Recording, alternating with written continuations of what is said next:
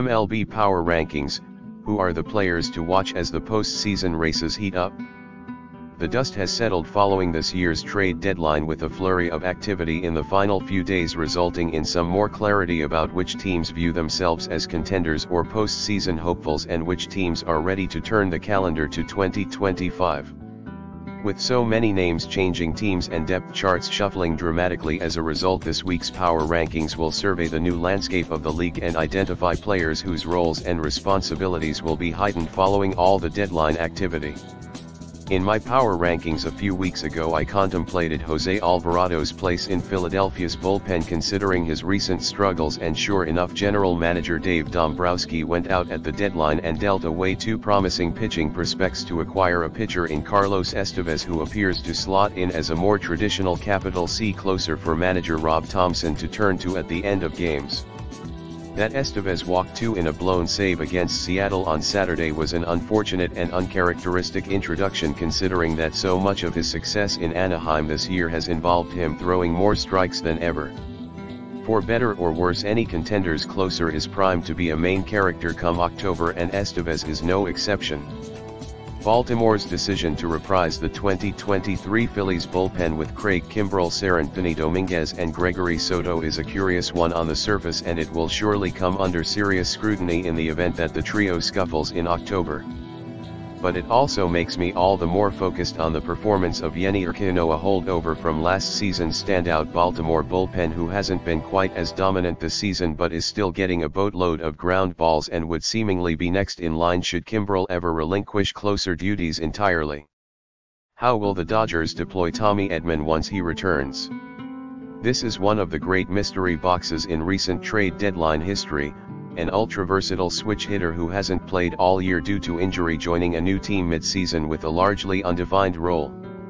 The most basic point of curiosity is whether manager Dave Roberts intends to mix and match enough to give Edman everyday at-bats or if Edman's ability to play practically every position other than first and catcher will make him the ultimate insurance policy bench bat rather than a Ben Zobrist type who starts every game but at different positions. All of these decisions will likely be influenced by timing as well as the returns of Mookie Betts and Max Muncy will eventually crowd the position player picture in LA and limit the opportunities for Edman to accrue consistent playing time. Jazz Chisholm Jr. provided immediate fireworks with consecutive two-homer games shortly following his trade to the Yankees but he has cooled off considerably since. Most fascinating is New York's decision to make Chisholm the everyday third baseman and trust that his athleticism will allow him to quickly pick up a position he has never played before just as he did in center field with the Marlins. It has been smooth sailing so far but I'm eager to see how Chisholm settles into the newer brighter spotlight both defensively and offensively as the Yankees fight for position atop the AL East. While Lane Thomas was a perfect addition for Cleveland on the offensive side I think Alex Cobb might prove to be even more crucial for a Guardians team in dire need of some stability in the rotation as it looks to clinch another AL Central title. The 36-year-old was working his way back from a hip injury with San Francisco and he is now scheduled to make his Guardians debut and season debut in the big leagues on Friday against the Twins. Recall that Cobb was an all-star last year for the first time in his career so while this might seem like a modest acquisition on the surface given his age and recent injury history it's not far-fetched to envision Cobb emerging as one of Cleveland's best options to start a postseason game come October. The Twins were the least active team at the deadline making just one deal with Toronto to acquire righty Trevor Richards who projects to slot in as a low-leverage middle reliever. The lack of moves can be viewed through two lenses, either as an encouraging sign of utmost confidence in the roster as is or as a missed opportunity to improve a team that with the right reinforcements could chase down the Guardians in the AL Central.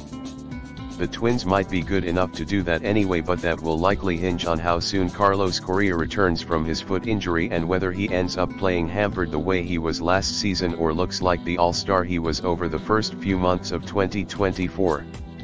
Early returns on Kansas City's three deadline additions on the mound have been mixed with Hunter Harvey looking awfully shaky while Michael Lorenzen and Lucas Erceg have looked great. If Harvey keeps struggling Erceg alone will likely not be enough to support this beleaguered bullpen unit.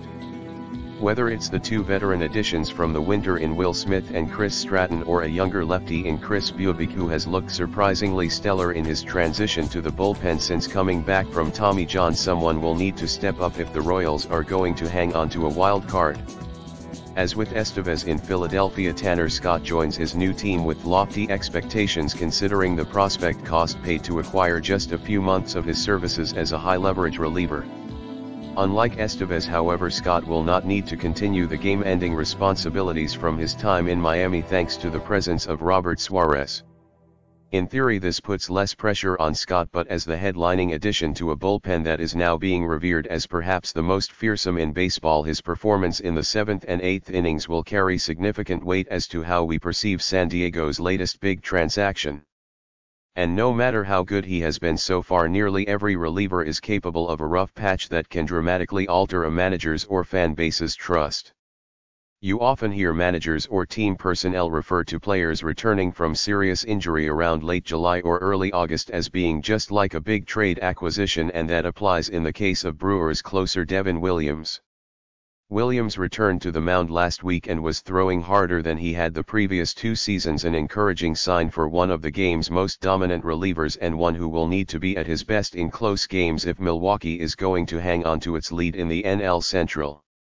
It'd be cool if Jorge Soler can recapture the magic of 2021 and inject some life into an Atlanta lineup that needs a boost badly but that he'll need to play right field every day after exclusive leading in San Francisco adds an element of risk that might counterbalance his offensive contributions somewhat. Considering how bad Atlanta's offense has been Soler is being asked to do a lot in his return as the lone major deadline addition and if he doesn't hit as expected he hasn't so far the Braves will be stuck with a poor defensive outfielder and limited roster flexibility moving forward. Arizona is fortunate that Christian Walker's oblique injury happened before the trade deadline so it was able to scoop up veteran Josh Bell to replace him rather seamlessly but the far more important storyline to watch for the Snakes right now is how the bullpen hierarchy shakes out in the wake of Paul Sewald's demotion from the closer role and whether deadline acquisition AJ. Puk will ultimately claim the ninth inning or if it will be a rotating responsibility among him rookie Justin Martinez and holdovers from last year's Magic October bullpen Ryan Thompson and Kevin Ginkel. Even with the late inning drama the D-backs have played extremely well lately. If they can get their bullpen in order they could be really dangerous once again come October. Triston Casas seems to be nearing a return from the rib injury that has kept him out since April 20th and it'll be interesting to see how manager Alex Cora chooses to work him back in the lineup considering the surprisingly strong recent run from fill-in first baseman Dominic Smith who has hit awfully well since the start of July and would seem to be worthy of regular at-bats but with primary DH Masataka Yoshida also swinging a hot bat over the past month and an apparent reluctance to use him in the outfield I'm not sure how these three defensively limited lefty sluggers are going to fit once Casas returns but hey that's why they pay Cora the big bucks. Seattle's offense was so bad over the month in which it blew the division lead to Houston that it didn't seem like it could fix its hitting woes through adding at the deadline alone but survey the activity across the league and you'll find that the Mariners were just about the only team to add two everyday hitters via trade in Randy Arozarena and Justin Turner both of whom have already made a notable impact. With Arozarena and Turner meshing immediately and a resurgent Victor Robles in the mix as well the attention now turns to injured superstar Julio Rodriguez who is still working his way back from an ankle injury. Before the acquisitions of Arozarena and Turner a fantastic finish from Julio post-injury might have been required for Seattle to make a legitimate run at the AL West title. But if J-Rod can get back and get hot down the stretch alongside his new teammates suddenly this lineup could start to look like a strength rather than a prohibitive weakness. It wasn't up to Yosei Kikuchi where he got traded or how good the prospect package was to acquire him but he is now the indirect recipient of an extra heap of pressure thanks to the talented trio of players, Jake Bloss Joey Loperfido Will Wagner, Houston sent to Toronto to land the lefty.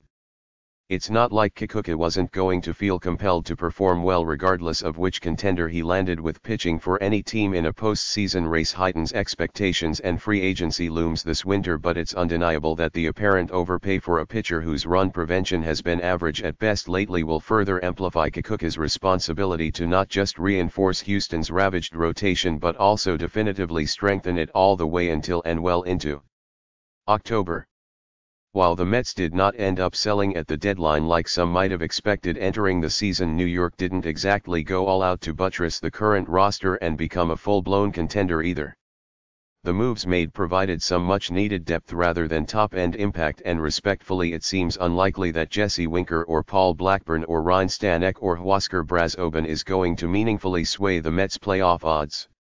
That said Blackburn's importance is amplified in the wake of Kodai Senga returning to the IL due to a calf strain immediately after his long-awaited return from a shoulder injury. Both Blackburn and another former Oakland arm in Sean Manaea who has been excellent in his past two starts will need to step it up over the final few months if the Mets want to have any chance of sneaking into the wild card. Are any of us really surprised that Tommy Pham has been absolutely raking since being freed from one of the worst teams in baseball history and traded to a team in the middle of a postseason push? Pham brings exactly the kind of spark on and off the field that this Cardinals team needs as it tries to return to the postseason following last year's dismal showing. After watching Pham bounce around the league a bunch since his initial departure from St. Louis in 2018 it's cool to see him thriving back where it all began albeit with an entirely new cast of characters. With so many familiar faces shipped elsewhere ahead of the trade deadline Yandy Diaz was the one Rays veteran whose name appeared plenty in trade discussions but ultimately didn't move. We'll see if such potential deals are revisited this winter but I'm more curious about Brandon Lowe's future with Tampa Bay as another experienced bat who is quietly having an excellent season and has a team option for $10.5 million for 2025. He has been far better than Diaz this season and would seemingly appeal to even more teams if he were made available.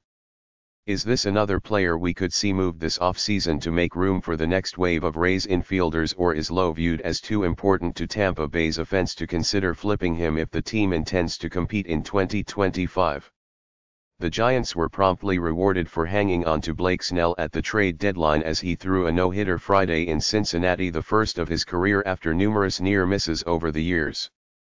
It was the latest in a spectacular run of outings for the decorated left-hander as Snell has posted a 0.55 ERA in his past five starts with 41 strikeouts and just 8 hits allowed in 33 innings pitched.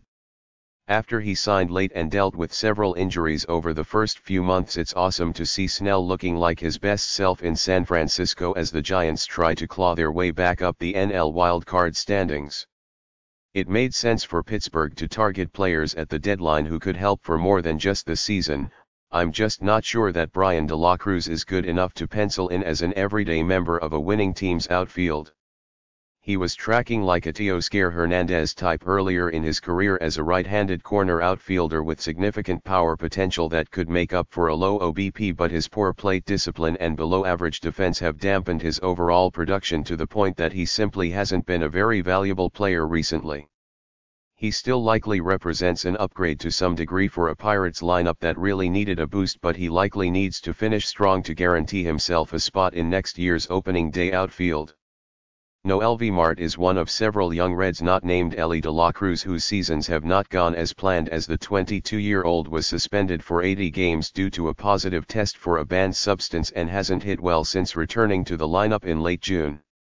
Marte's suspension and poor showing combined with injuries and underperformance from Matt McLain and Christian Encarnacion-Strand have left the state of the Cincinnati infield around De La Cruz somewhat in flux especially after how well things seemed to be lining up by the end of last season. With CES and McLain still on the shelf Marte is the one who has the opportunity to recapture some optimism about his place in the Reds' plans moving forward. Tyler Mahle returned to the Rangers rotation on Tuesday and Jacob deGrom is expected to do the same at some point in the coming weeks as Texas looks to reinforce its rotation in time to stay relevant in the AL postseason race. But Mahle and deGrom aren't the only two Texas right-handers working their way back from elbow surgery, Kumar Rocker the number 3 pick in the 2022 draft had surgery the same day as Mahle last May and is now in AA looking notably sharp as he builds his workload back up.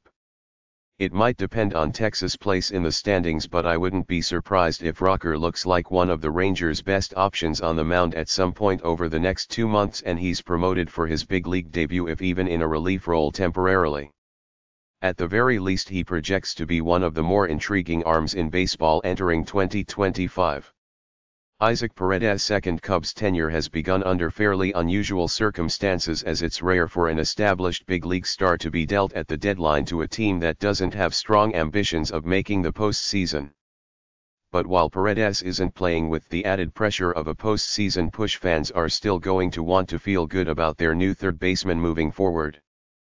Paredes' home run in Tuesday's victory over Minnesota after he went 3-4-27 in his first seven games post-trade should help.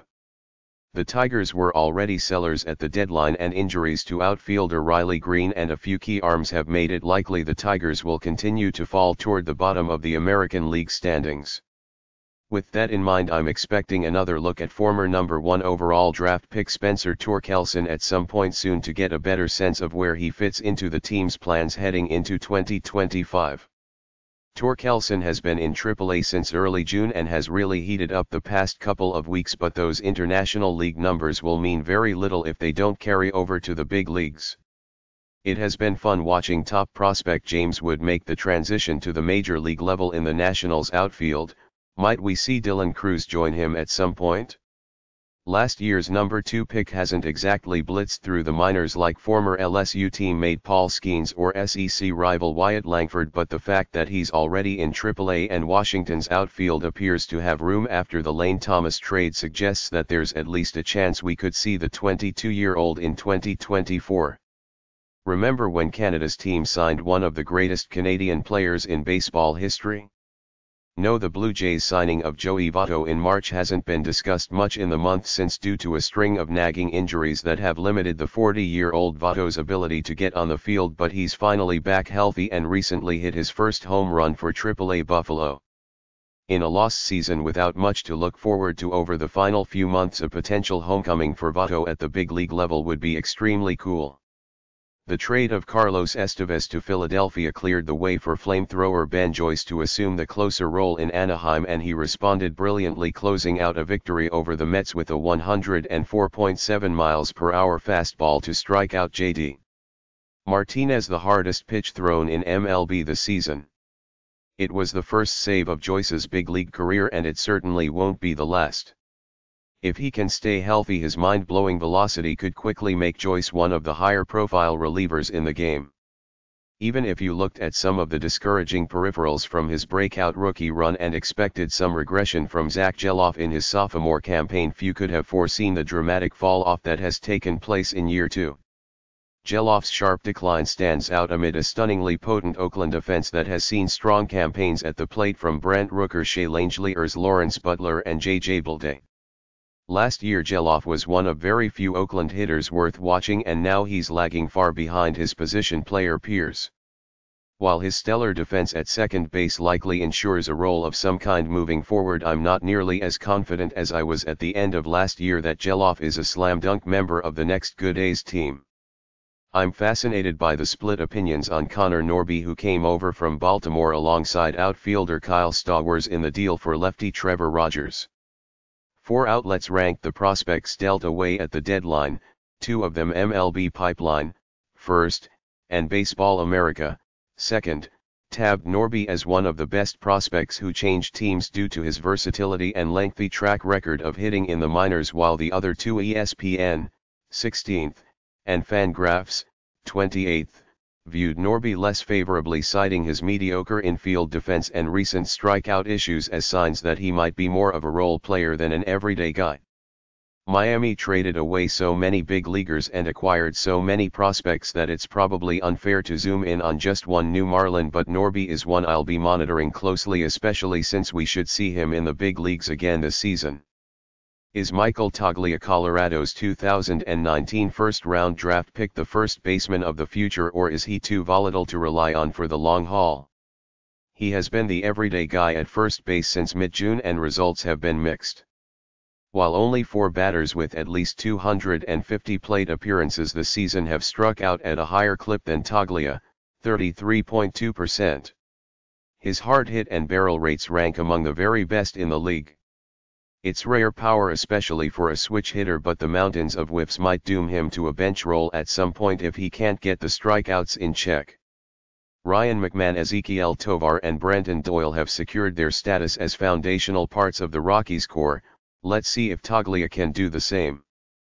We'll see if acquisition Miguel Vargas can prove himself as a good big league hitter now that he'll be given everyday at-bats but honestly I'm most focused on the two guys who didn't get traded at the deadline in Luis Robert Jr. and Garrett Crochet. The reality is trade talks will start right back up as soon as the White Sox complete what is projecting to be one of the worst seasons in MLB history. How these two finish from health and performance standpoints will impact how much excitement there is for teams to trade for them before 2025.